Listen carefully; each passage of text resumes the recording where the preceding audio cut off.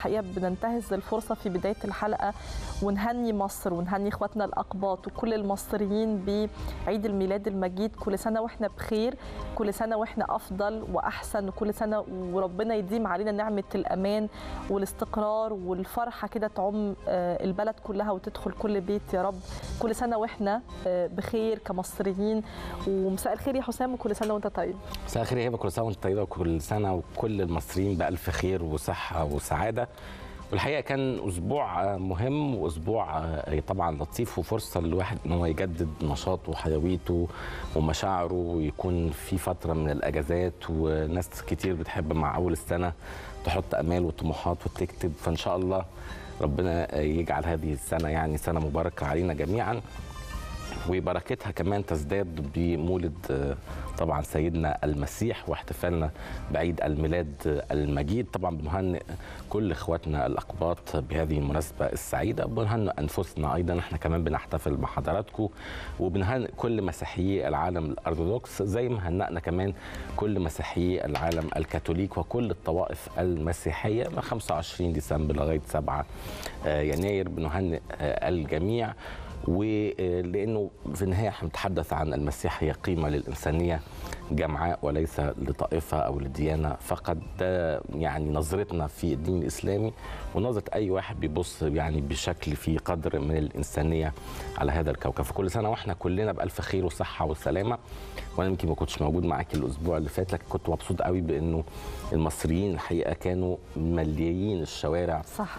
وده دايما أبلغ وأعظم رد على أي حد بيحاول يعني يحرم أو يقول لا دي مش من عاداتنا أو ما نحتفلش أو ما نعملش كل شيء يعني يدخل القصص دي يعني خلاص أصبحت ما هو الرد آه طبعا ما هو الرد دائما جاء من الشارع المصري. الناس بتحب تحتفل وبتحب إن هي تدخل البهجة على نفوس الناس.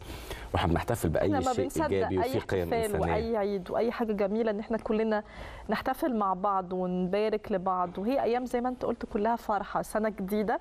وإن شاء الله إن شاء الله تبقى سنة سعيدة ويبقى فيها التمنيات والأمال أفضل من يعني العثرات والعقبات اللي إحنا يمكن شاهدناها في 2022 ده غير بقى الأعياد اللي طبعا بنعيشها هذه الأيام واللي النهارده يوم 7 يناير عيد ميلاد المسيح عيد الميلاد المجيد واللي بنحتفل بيه كلنا. واللي يمكن شفنا امبارح برضو مهم قوي نقف مع حضراتكم قدام مشاهد الاحتفال أو القداس اللي كان قائم امبارح في كاتدرائية ميلاد المسيح في العاصمة الإدارية الجديدة.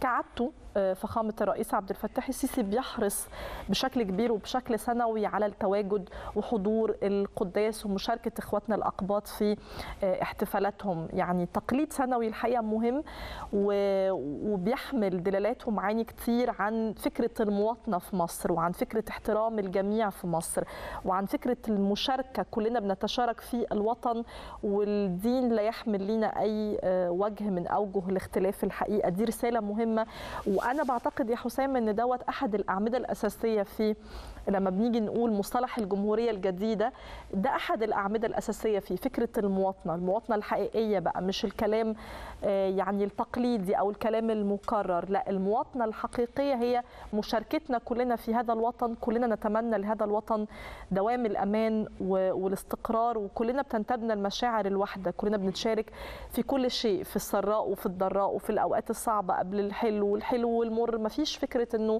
يعني إحنا متباعدين أو مختلفين دي خلاص أتصور انتهى يعني زمانها أو ولع عهدها طبعا يعني كمان قداس عيد الميلاد دايما يعني بيرتبط بالواحد بالذكريات الحقيقة جميلة وإيجابية وزمان وإحنا لما كنا بنروح الكنيسة في العباسية وإحنا مراسلين صغيرين نغطي طبعا الاحتفالات ونقابل إخواتنا مسيحيين يعني يوم كبير ويوم طبعا مهم. كان يوم كبير ويوم مهم وكنا بننبسط إحنا كمان كلنا بوجودنا والتشارك أيضا واحترام مشاعر الآخر وديانة الآخر ومعتقدات الآخر. أعتقد ده وجه جديد من الجمهورية الجديدة اللي كلنا بنسعى اليه وكمان كعادة الرئيس هو بيأكد على هذا المفهوم من خلال تواجده في الكنيسة وحرصوا على مشاركة الإخوة الاقباط في كل طبعا عيد ميلاد. ودي السنة الجديدة اللي هو استناها سيادة الرئيس. وان إحنا طبعا كنا بننبسط كل ما بنشوف هذه المشاعر خاصة إنه كمان ده بيدخل يعني الفرحة على قلب الاقباط وزمايلنا المسيحيين وكمان المتواجدين في القداس تحديدا وده كان واضح يعني مظاهر الاحتفال والبهجة والرئيس من أول ما دخل لغاية جوه الناس كانت بتحب تتصور معاه وياخدوا معاه سيلفي واللي يديله كارت واللي يديله لوحة واللي يعني طبعا ده طالما ده بي- بيدخل يعني مشاعر طيبة على نفوس الناس فده يبسطنا نظري جميعا قوي دوت. يعني شوف من أول لحظة الدخول لحد شوف يعني فضل يمشي آه، سيادة الرئيس قد إيه فضل يمشي مسافة يعني لا بأس بها ابدا. وطول المسافة دي وهو مختلط بالناس. طول المسافة دي وهو بيمد إيده يسلم على ده آه، يمد إيده يطبطب على ده يمد إيده آه، يعني يستقبل التحية. شوف من سيدة من أطفال حتى كانوا شوف الست بتطبطب على كتفه يعني آه، أنا ده كان بالنسبة لي مشهد جميل قوي الصراحه ولطيف وفي تلقائية وفي يعني هو ده الحقيقة اللي بيعبر عن حب الناس آه، الحقيقي بدون زيف بدون آه، يعني أي نوع من أنواع التمثيل. دي التلقائية اللي ظاهرة في الوشوش وظاهرة في, في الناس وهي بتسلم على الرئيس وظاهرة كمان في فرحة الرئيس وهو موجود في وسطيهم وتلقائيته. يعني واقف بيسلم على كل الناس وبيمد ايده لكل الناس. ومفيش أي نوع من أنواع يعني ال- الحدود أو الفواصل بينه وبين الناس في في المشهد الجميل ده. الحقيقة كان مشهد مهم امبارح وأنا بتبسط لما بشوفه ويشبه مشهد السنة اللي قبلها واللي قبلها. ف يعني الحقيقة مشهد مهم.